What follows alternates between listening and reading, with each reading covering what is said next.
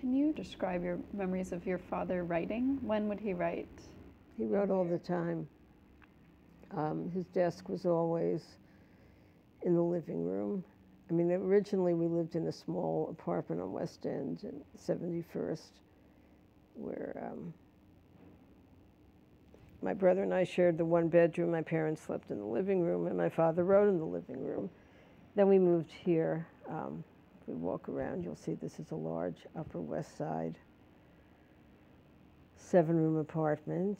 And when we moved here, I was 13 and I was in ecstatic that I could have some distance from my parents and my own room away from my brother. But somehow my brother and my father missed the small space because uh, my brother always wanted to go back to the old apartment and he was, he was little. He had sleeping problems here.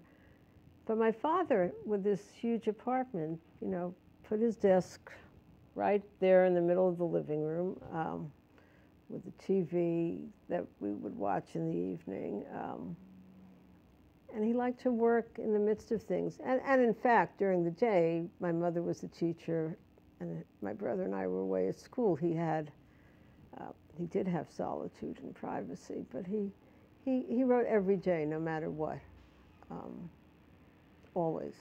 Uh, he, he did a few pages, and a, a lot of the writing that he did uh, for the Forverts as well as for other publications um, were serialized. So he was writing as it was being published, and he did have that deadline.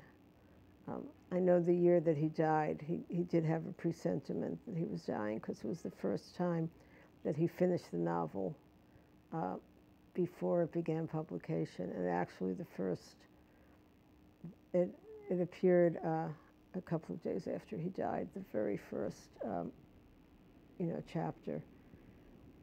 But he was always working. It was, it was always, uh, you know, Daddy's, and it wasn't even like Daddy's writing, "Be quiet," you know, go about our business, shouting, fighting, playing, screaming, whatever, and he just, occasionally he'd get upset, but usually he just blocked it out. And, and about 10 years before he died, they, they got a beautiful wooden desk.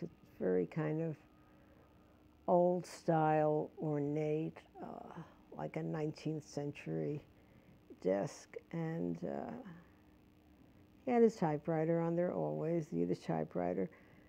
You know, he, he typed and he always had carbon copies on onion skin and he did his notes and corrections by, by hand on the onion skin. But basically, he was by the typewriter and he was always at the desk.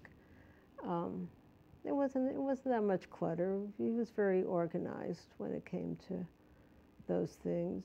A few fountain pens. He always wrote with a fountain pen. And um,